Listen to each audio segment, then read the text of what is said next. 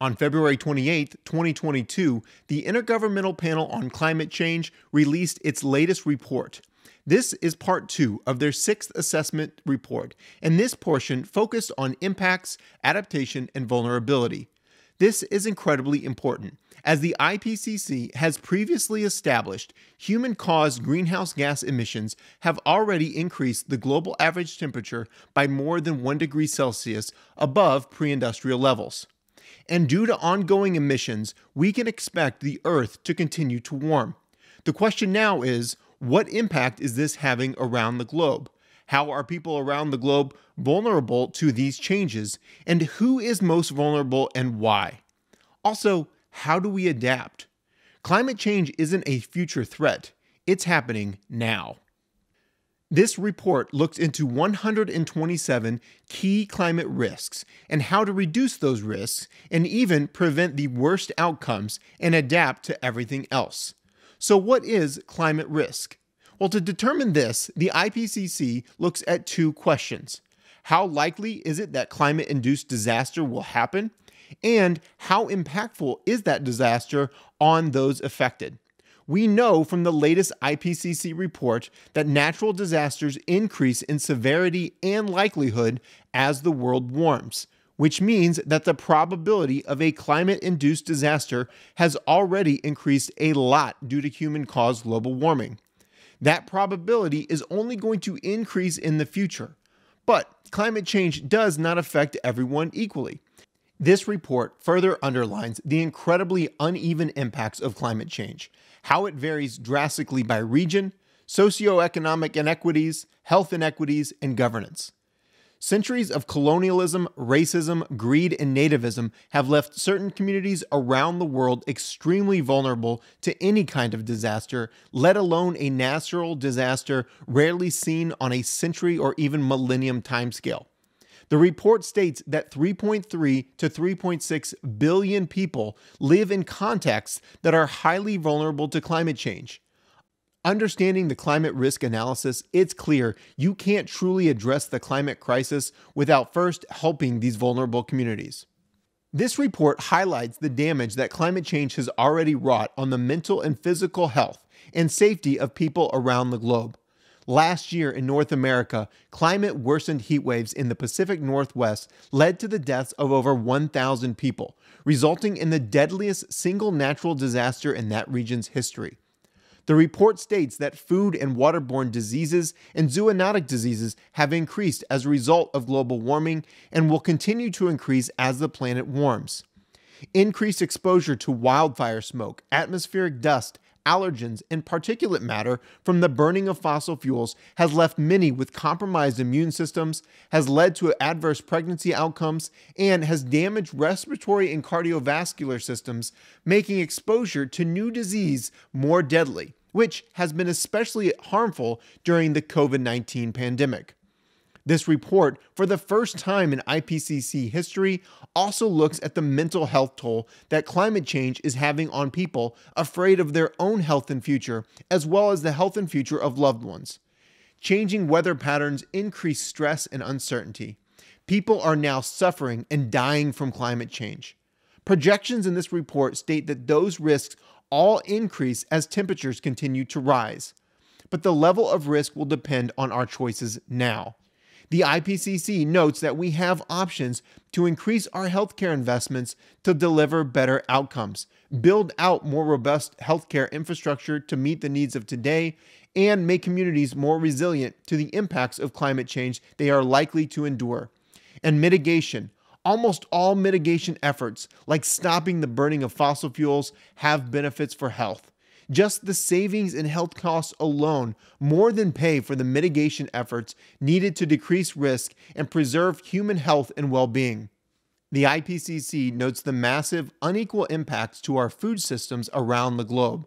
Across the planet, we are seeing decreasing yields of essential crops as well as damages to our livestock, production, and fisheries we are witnessing compounding risks to food systems and increased food safety problems. For instance, as the report notes, risks to health and food production will be made more severe from the interaction of sudden food production losses from heat and drought, exacerbated by heat induced labor productivity losses. These interacting impacts will increase food prices, reduce household incomes, and lead to health risks of malnutrition and climate related mortality with no or low levels of adaptation, especially in tropical regions. Additionally, impacts like unavoidable sea level rise will result in flooding and damages to coastal infrastructure that threaten food production and vulnerable agricultural communities and limit access to healthy food and safe drinking water. Overall, there are impacts on food security affecting millions in the most vulnerable regions, and this will only increase in the near future. Compounding this issue, the increases in food prices and malnutrition will be coupled with increased risk to the threat of climate sensitive foodborne illnesses in the food we are able to produce. The more rapid we can mitigate, the less the severe impacts will be. But currently, the IPCC notes that there are not transformative actions being taken to preserve food systems and production, delivering a fundamental threat to our way of life. We have to both mitigate climate change and adapt to it. For too long, mitigation efforts and adaptation efforts have fought each other for a share of a small but growing budget to combat climate change. The traditional view is that mitigation efforts, the stuff that reduces greenhouse gas emissions and helps prevent more warming and climate change, are for investments now that will bring long term benefits that might not be observed for decades or even longer.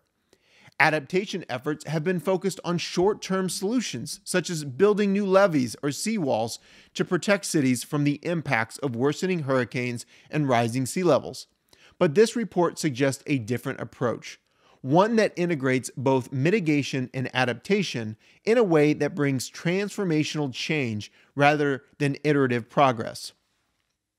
This more holistic approach is called climate resilient development, and its importance is a main takeaway from this report. Deploying more distributed renewable energy is a great example of climate resilient development because it achieves both mitigation and adaptation. By generating more clean electricity, we reduce the need for the burning of fossil fuels, which reduces the amount of carbon dioxide added to the atmosphere. Mitigation. And by generating that power locally, if there is a major disaster, such as a hurricane or a tornado, disruptions in the electricity grid will be minimized because there is less reliance on a centralized power source and a completely functional grid. Adaptation. But the report stresses that we must commit to climate resilient development quickly. The more the planet warms, the harder and less effective climate resilient development becomes. This report suggests that this threshold is 1.5 degrees Celsius of warming above pre industrial levels. We know from the 2021 IPCC report that the world is expected to hit 1.5 degrees, regardless of what we do now, by mid century.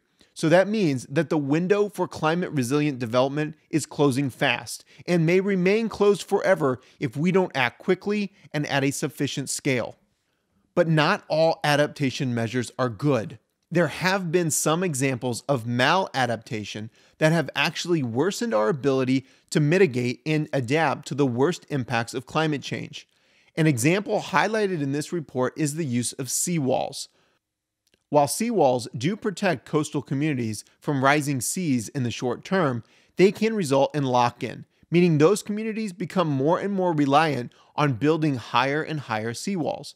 And when extreme storms push water up and over those seawalls, those seawalls actually keep the water from flowing back out to sea as it should, which can worsen coastal erosion and prolong the impacts of coastal flooding to towns and ecosystems. This report states that seawalls, like other maladaptation measures, focus on sectors and risks in isolation and on their short term risks and benefits. To avoid such maladaptation, decision makers must have a more comprehensive, inclusive, and long term view of climate risks specific to local communities and ecosystems.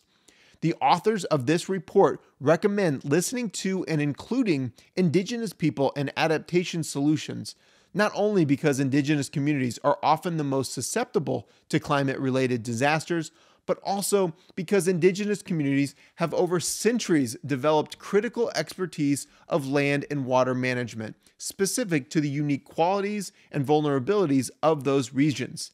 That's why, for the first time in IPCC history, every chapter includes input from and focus on Indigenous people. Climate change can increase faster than expected if we hit tipping points, causing certain feedback loops to be triggered. Feedback loops are the concept that warming the planet will actually cause some areas of the planet to increase their emissions of carbon dioxide, which then further warms the planet, which then causes those same areas to emit even more carbon dioxide, which then further warms the planet. So we're stuck in this ever worsening cycle of increased warming and increased emissions. Not fun.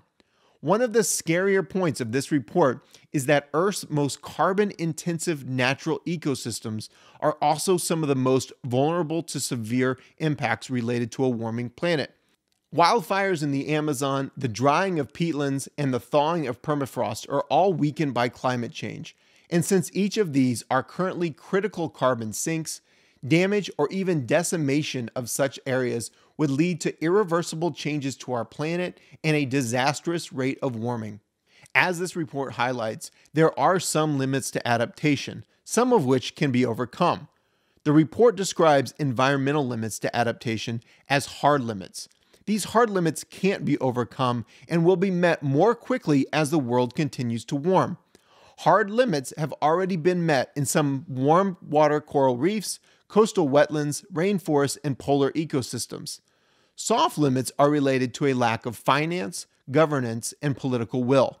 While awareness of the climate crisis has increased thanks to activist groups, academics, and educators, there's still a huge gap in money available for adaptation. Part of that gap is due to what we mentioned earlier. Historically, most climate money has gone to mitigate climate change rather than adapt to it. We've got to do both. A much larger cause of the funding gap is that money promised by developed countries to help developing countries is not only insufficient, but those promises aren't even being met. The estimated cost of adaptation for developing countries is $127 billion per year by 2030. Back in 2009, rich countries attending COP15 in Copenhagen promised a combined $100 billion in climate funding, but that amount has never been met in the 12 years in which it has been promised. Climate change has already caused a tremendous deal of loss and damages around the globe, and because there are some hard limits to adaptation, adaptation and mitigation alone cannot prevent all future losses and damages. In low lying coastal communities, hurricanes and sea level rise will continue to cause harm, and the poorest and most vulnerable communities will be hit the hardest and have the fewest resources to respond. As the IPCC continues to note, keeping warming from exceeding 1.5 degrees Celsius above pre industrial levels is critical to prevent greater losses and damages and making large parts of the world uninhabitable. But as losses of human life and livelihoods, as well as damages to the most vulnerable communities that have been the least responsible for climate change, continue to occur, it is critical that global leaders provide financing to account for these losses and damages now. This report indicates that integrating climate adaptation into social protection programs is one of the most effective uses of funds to reduce climate risks.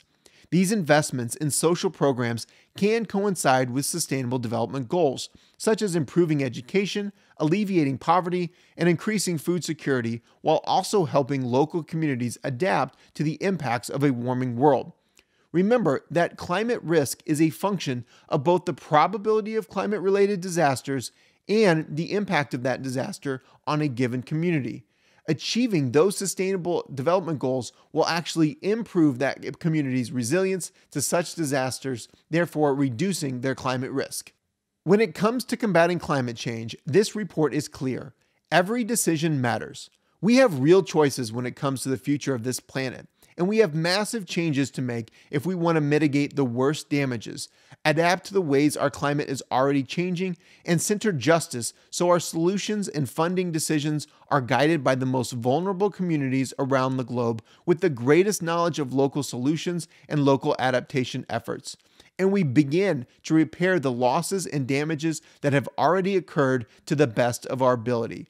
What matters now is what comes next.